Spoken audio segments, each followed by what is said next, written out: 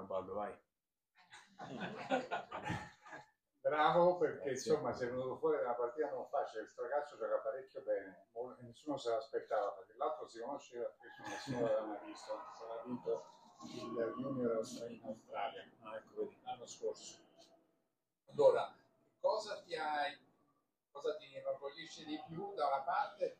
Non hai detto tu poco fa, non ho giocato benissimo, però insomma poi nei momenti decisivi differenza c'è stata. Ecco. Eh, Che cosa ti porti avanti da questa partita? Cosa ti porti dietro?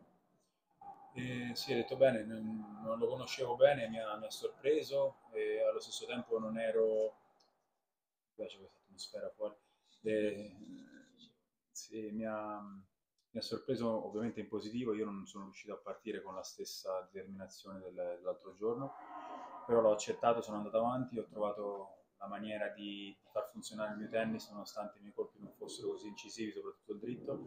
E, e- però mi porto dietro il fatto che mentalmente sono in una fase della mia carriera in cui riesco a riconoscere quello che sta succedendo e sono molto molto lucido, riesco a, a non farmi prendere troppo dalle emozioni e grazie all'esperienza di tutti questi anni alla fine eh, la sto portando dentro, dentro al campo quindi nonostante appunto non abbia giocato la mia miglior partita di sempre sono riuscito a portare un risultato a casa con un ragazzo che gioca molto bene e che tra poco salirà al ranking probabilmente il prossimo anno sarà qui da, da top 100 quindi eh, bene così. E la cosa più importante è portare a casa il punto quando si è chiamati a giocare e adesso tifo per Flavio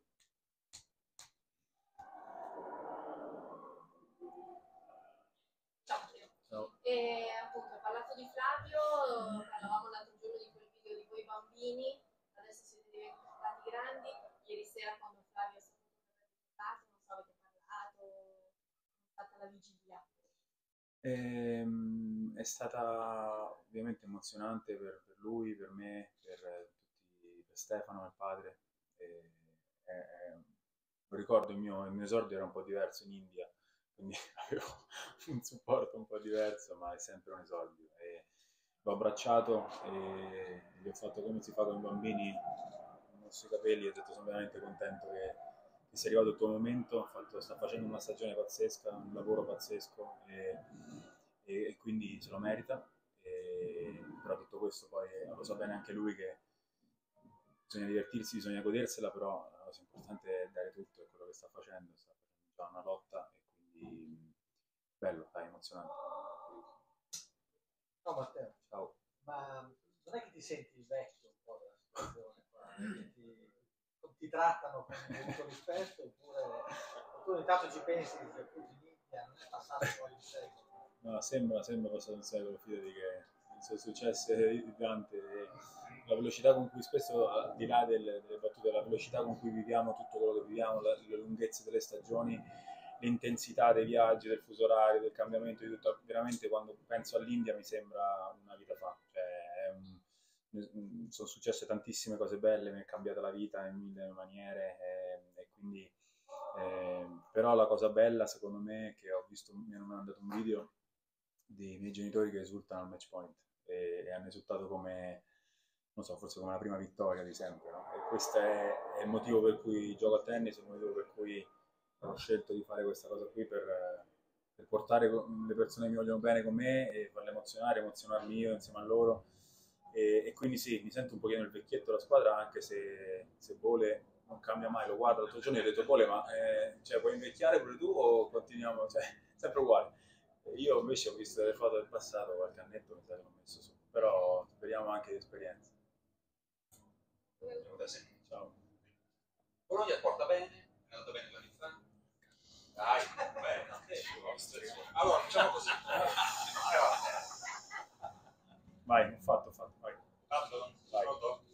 Hai incontrato due giocatori giovani, veloci, interessanti, infatti poi volevo capire il tuo giudizio se tu sei molto contento, abbastanza contento, o giustamente contento in questa appunto, come hai già ripetuto, fase cruciale un po', no? Una svolta, una delle ennesime svolte della, della tua carriera. Come lo giudichi questa quarto bolognese? E sono molto contento, molto contento perché alla fine sono due vittorie che portano i due punti due punti importanti per la squadra, oggi c'è ancora da lottare, sono due match rimasti molto molto duri e sono contento perché sono di nuovo in squadra, sono contento perché ho sentito le emozioni delle persone, perché i miei compagni urlavano il mio nome, perché ci saranno, come ho detto, i miei genitori. sono contento perché sono in una fase molto bella della mia carriera, della mia vita e, e quindi contento.